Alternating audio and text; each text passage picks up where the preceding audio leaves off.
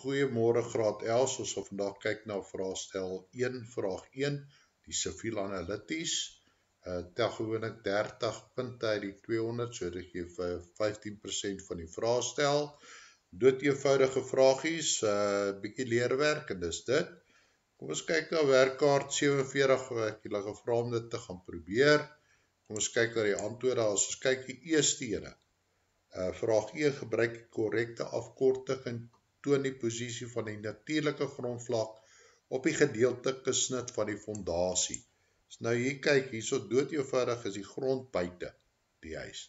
So dit geef vir my natuurlijke grondvlak. Nou kyk ek vraag 2, teken nekies vryhand al die asseringsbesonderhede op die gedeeltelike snit fondatie.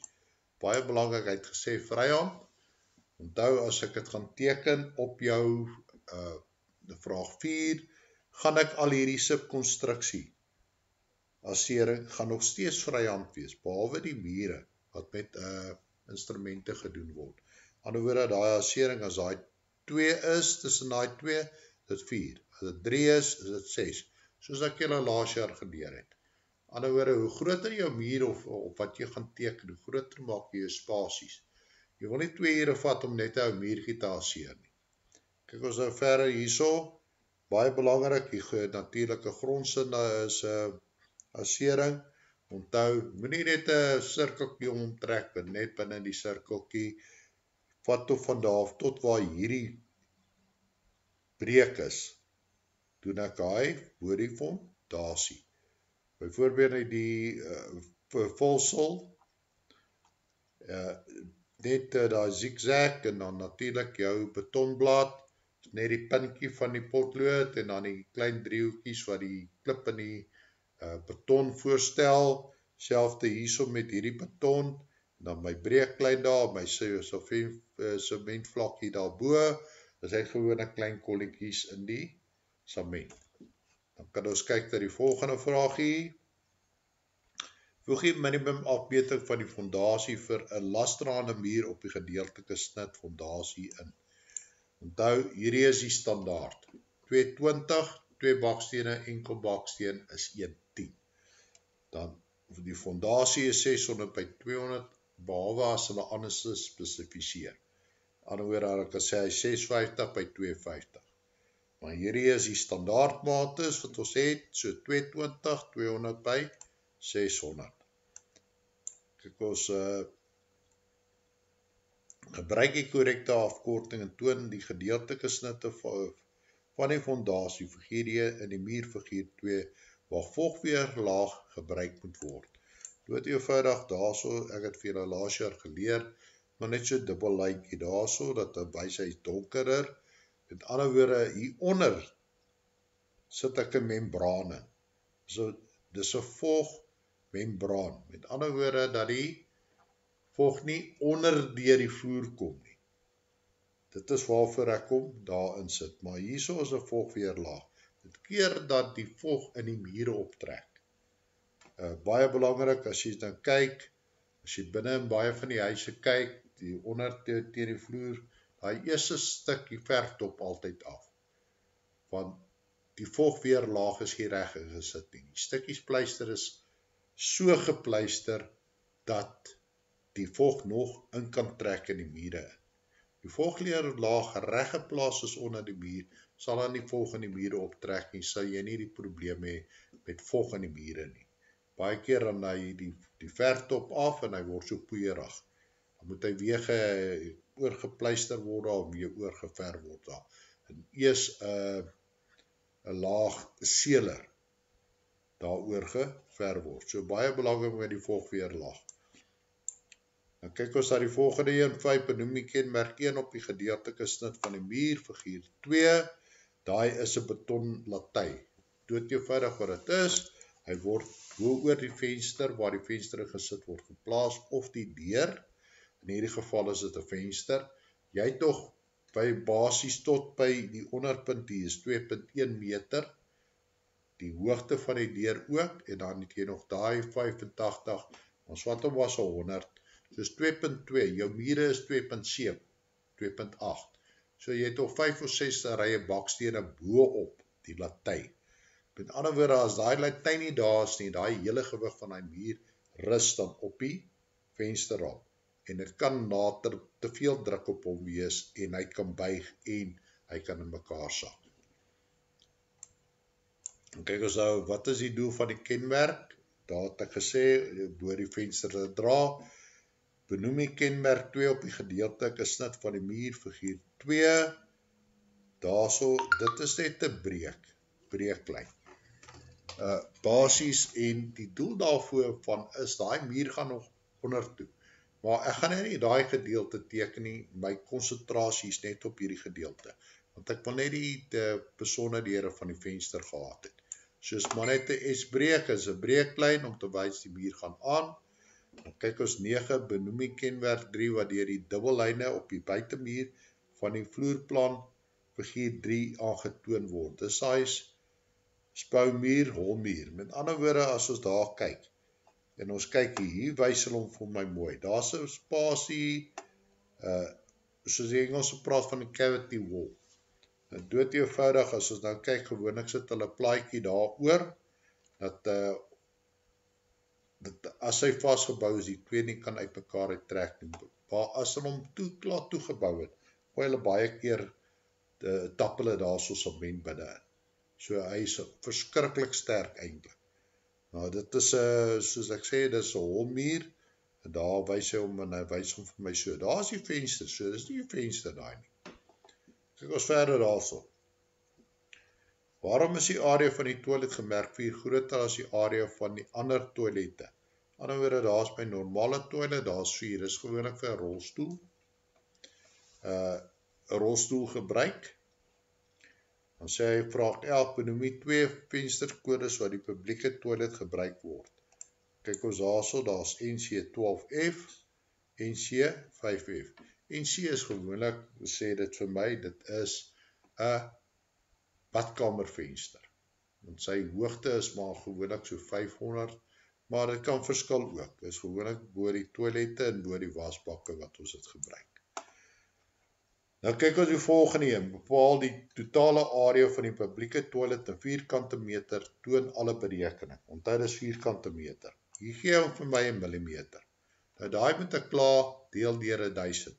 As ons kyk 5.766 en 5.036, maal die twee met mekaar, dan kry ons 29.04. Vierkante meter, meter kwadraat. Dan kyk ons hierdie kant hierop sal sien 2.124, 1.854. Want kyk, die gedeelte, dit moet ek aftrek. En met ander woorde, die gee 2.1, dit gee vir 3.94 vierkante meter. Maar, dit is een driehoekie, so ek moet dit halveer. En as ek het halveer, dan krijg ek 1.97 vierkante meter. En dit trek ek al af, en geer het my antwoord van 27.07 vierkante 07 vierkante meter. Nou kyk ons hier boe, die laaste twee vraag. Uh, teken een nekiese vryhand die voorhandsig en boehandsig van die SANS 10143 grafiese symbool vir toilet. Nou dood eenvoudig, jy dat ken om is die twee blokkies van die aansig kry ons nou na die blokkie met die driehoekie onder. Dood eenvoudig, hierdie mates kry ek op my inlichtingsblad en ek teken volgens hom, volgens die skaal, aangetoon. En ook, soos ek vir julle laatste sê, die muur urinaal, dood hierdie, die, die platvlakkie is tegen die muur, en dan natuurlijk die gaan op die aansig getoon word, met die klein cirkelkie daar. En dit geef vir my die 25 punte.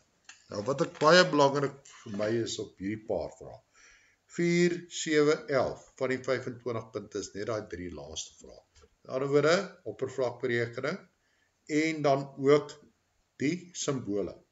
Het kan tot, by betek vraagstel, kan het tot 50% van vraag 1 kan net die symbole en die oppervlak en die omtrek en die uh, wees. So baie belangrik daar. As ons nou gaan kyk, is die einde van werkaard uh, einde van werkkaart 47, kom ons kyk na werkkaart 48. En hierdie koms heeltemal omtrent uit die inlichting blaie wat ek deurgegaan het met julle. Onthou die eerste gedeelte was by indigblad die afkortings. Nou vra hy gee die korrekte afkortings vir die volgende siviele toebehore. B is bad. Bidet is BT, handwasbak WB, opwasbak OWB. In die inligtingblad het julle. Julle moes dit hoef dit neer te geskryf het. Stort ST, waterkloset SK, wasdrog WT, urinaal U. Kyk na die volgende vraagie. Wat ek kleur van die volgende kenmerk op die civiele tekening aan voltooi? Nieuwe hout is geel. Nieuwe staal, blauw. Nieuwe klippensselwerk, rooi.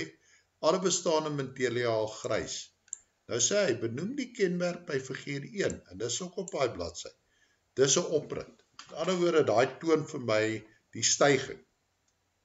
As het 10 meter lang is, dan is, gaan hy 1 meter stijg. Met ander woorde. En daai wys my die richting wat hy stijg. Dan die volgende een, dan vraag hy vir my, wat is die volgende? My kenmerk by figuur 2. Geef my trappe. En hy geef vir my ook die richting wat die stijging. Met ander woorde, die pijlpunt sê hy gaan soen toe op.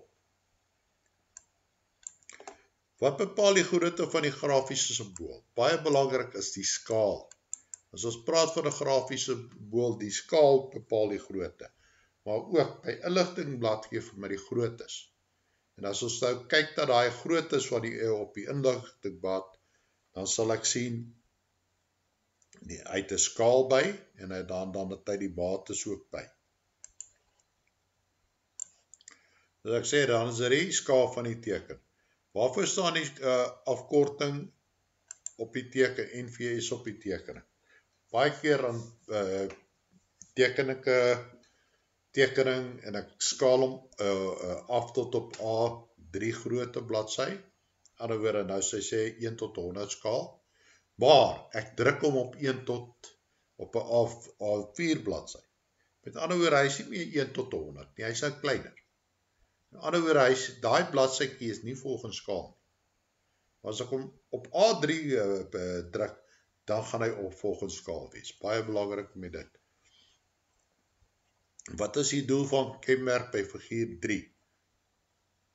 Nou kyk ons waar figuur 3 is, daai. Dis die snitlyn. Ander woorde, ek staan hier, dis waar ek staan en ek kyk in daai rigting. En as ek wat ek in daai rigting kyk, sien ek, dis die snitlyn daai.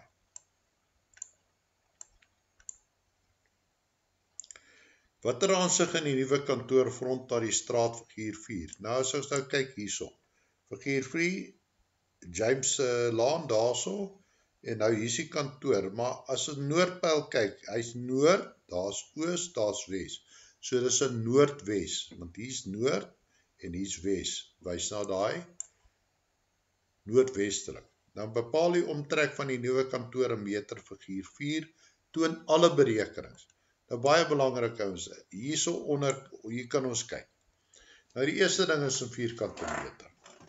Nou die omtrek beteken hoe, hoeveel meter gaan ek vat as ek nou by hierdie punt begin en ek loop teen hierdie muur af tot daar. Nou as ek nou mooi gaan kyk hierso.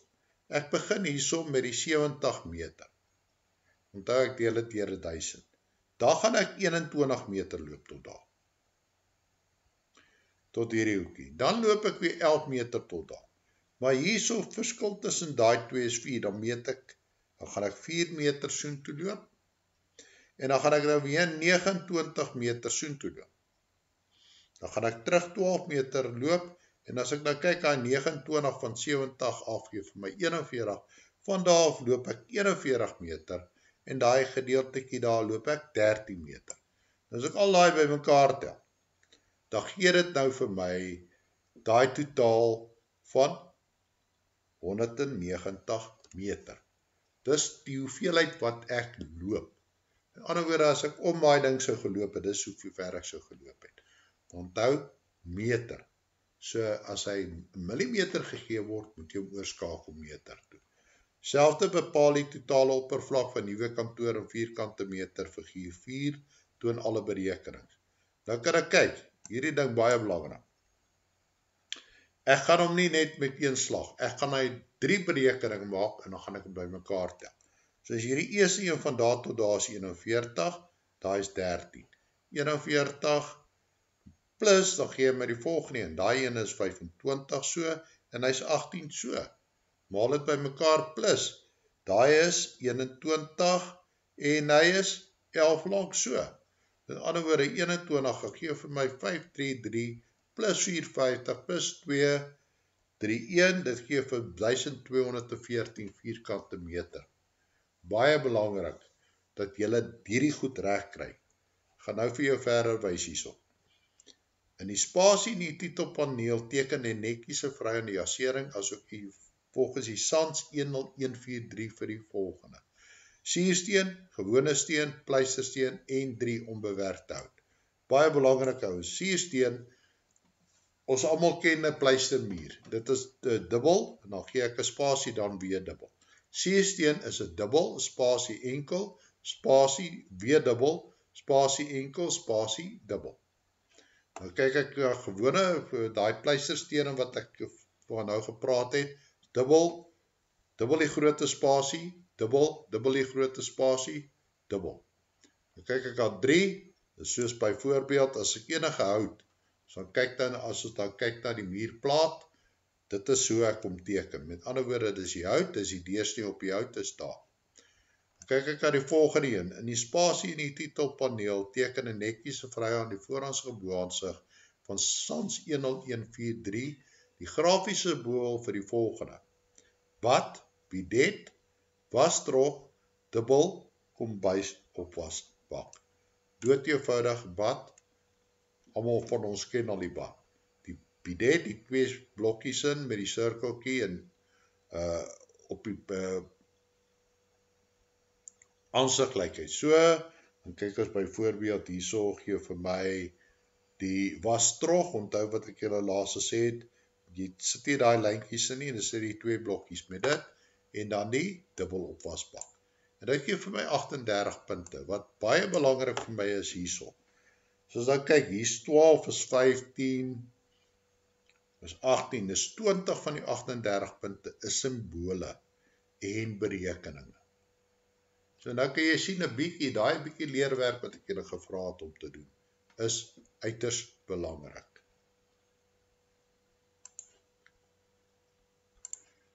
Nou gaan ons na die uh, tweede bladseie van hoofdstuk 6 kyk. Daar so sal jy sien, dit is uh, hoofdzakelike elektries, dit is die grafiese symbole van die elektries. As ons nou kyk, plafondlig, maar dit ken jylle al, is net die kruis. Dit is met instrumente. Moet nie dit vir my vry aan doen nie. Tweede een, muur gemonteerde licht, is, dit wees, hy is tegen die muur gemonteer en dan die kruis.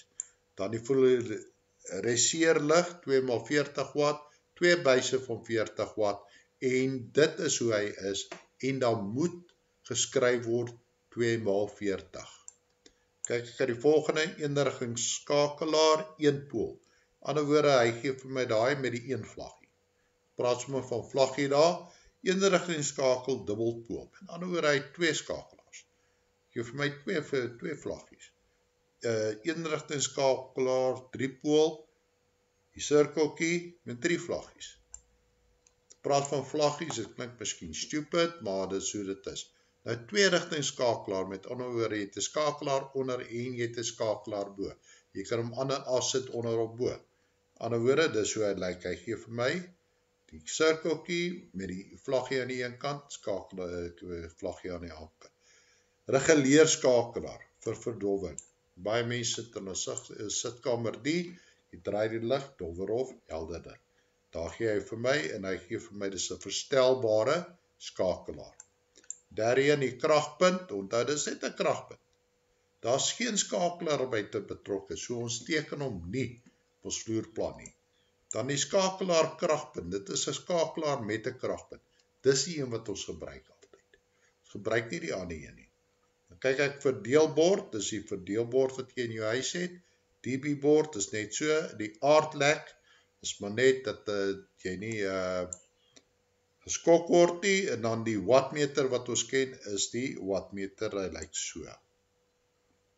Nou, as ons nou kyk na die volgende werkkaart, baie belangrijk, nou gaan ons begin met die fondasies. En ek wil hee, jylle moet een gedeelte van hom gaan teken. Vraag vir jy vir siefsiefide tekening gegee. Isometriese teken gedeelte snit van 'n fondasie, muurbesonderhede tot op plafonhoogte, die gedeeltelike vloerplan geteken volgens skaal 1 tot 20. Instruksie teken volgens skaal 1 tot 20 gedeeltelike snitansig volgens snyvlak AA. Alle teken moet voldoen aan die riglyn vervat in die SANS 10143.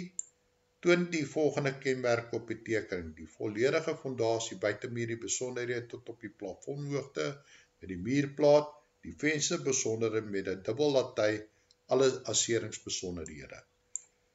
170 by 35 vesel, sement vensterbanke onder alle vensters. Reg. Gebruik die korrekte afkorting en benoem die volgende kenmerke: natuurlike grondvlak, voltooide vloervlak en volkweerlaag. Wet let wel alle subkonstruksies asseer mag in vryhand geteken word. Baie belangrik ouens, ek wil hê julle moet hom net vir my tot die bo doen.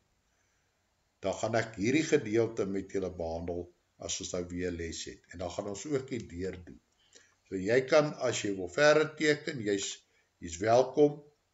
Uh maar ek sal net tot nou wil ek net hê julle moet vir my doen tot bo die vloer, dan gaan ek julle presies wys hoe om te doen hierso by die venster en dan byvoorbeeld hierso hiersie muurplaat wat ek altyd van praat.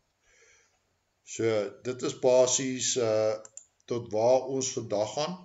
Uh ons tyd is klaar vandag, so met die volgende les asseblief gaan doen hierdie een soos ek sê werkkaart 49 net tot die bo, as jy wil verder teken, jy is welkom. Nou het jylle basis jy die, die memo van hom, so, en daar kan jylle sê, ook sien die besonderdere van die venster onder, maar ek sal het volgende keer precies, precies vir jylle verduidig. Jylle moet lekker teken, ons praat weer, bly gezond, uh, en dan praat ons weer, tot sies jylle.